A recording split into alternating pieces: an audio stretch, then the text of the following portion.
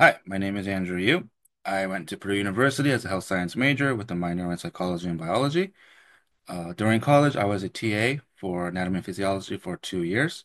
After that, I went to Duke Medical School, and right now I am the instructor at Brix Academy, representing biology.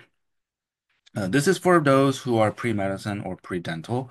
As for the to go into medical or dental school, you need to take the MCAT or DAT. Each of these tests has a biology section, and here I am here to show you the differences and similarities and how to study the for the biology section for these two exams. So first, the content. Uh, so on the left here, we have the MCAT right on the DAT. So the MCAT, you can say, is that it mainly tests foundational concepts while DAT is basic principles. So what that means is MCAT requires you to know the basic principles, but tie them all together, get the big picture. So because of that, it is passage-based questions where you have to interpret and also have multiple steps to solve it. Whereas the DAT is just discrete questions, direct knowledge and recall, and conceptual. So DAT would be more like your typical AP biology or college biology exams. They ask, what is this? What is that? Etc. Whereas the MCAT, they test more deeper knowledge uh, with the overall picture. It's very similar to how a doctor gets a list of symptoms from a patient and they have to they have to conclude what does this patient have. So MCAT is doing that with biological concepts. So if you see, the MCAT has 59 questions with 10 passages, 44 of them being passage-based questions and only 15 being discrete questions, whereas the DAT only has 40 discrete questions. Now it's easy to assume by this that, oh, the MCAT must be harder than the DAT. That is not an accurate assumption. The MCAT is definitely deeper, but the DAT, because they just ask a lot of what if questions, they test more wider. Now, here are the different uh, aspects or subjects that are focused by each exam.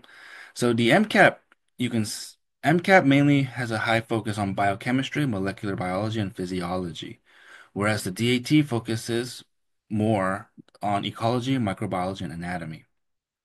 So based on this, it's not safe to assume that just because you study for the MCAT, you can take DAT and vice versa. Because each exam has higher different focuses on the topic, it requires different uh, uh, lessons. Here are the course recommendations that I recommend uh, for the DAT or MCAT biology. Now, general biology is a requirement for both, as it's a requirement to apply for medical or dental school. However, taking biochemistry, molecular or cell biology, and anatomy and physiology will essentially provide the, all the necessary knowledge for these exams. So just because you took general biology, it does not mean you are ready for the DAT or MCAT. You're just getting one fourth of the knowledge. Now let's take a look at some of the questions comparing DAT and MCAT. So first, here's a DAT question. Which of the following is the final electron acceptor in the electron transport chain during aerobic respiration? So again, this is just the general what is that question. And the answer here is going to be oxygen. Now let's look at MCAT, which is during aerobic respiration, electrons from NADH are transferred to the electron transport chain. If complex 1 is inhibited, which of the following is most likely to occur?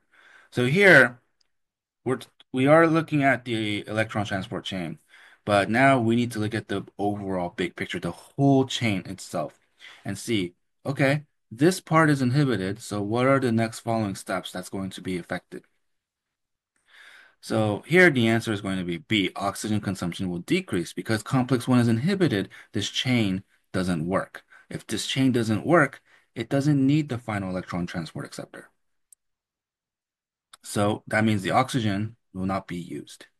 So as you can see, the DAT is very much just knowledge and recall, where the MCAT requires you to connect the chain, connect the dots of a bigger picture. So when we teach DAT, the DAT folks practice will be mostly focused on lots of practice, solving the questions. Whereas the MCAT, we have a we tend to focus a bit on interpreting the question better, understanding the overall picture and what it's asking. So That is the similarities and differences between the MCAT and DAT biology and how we would plan to teach.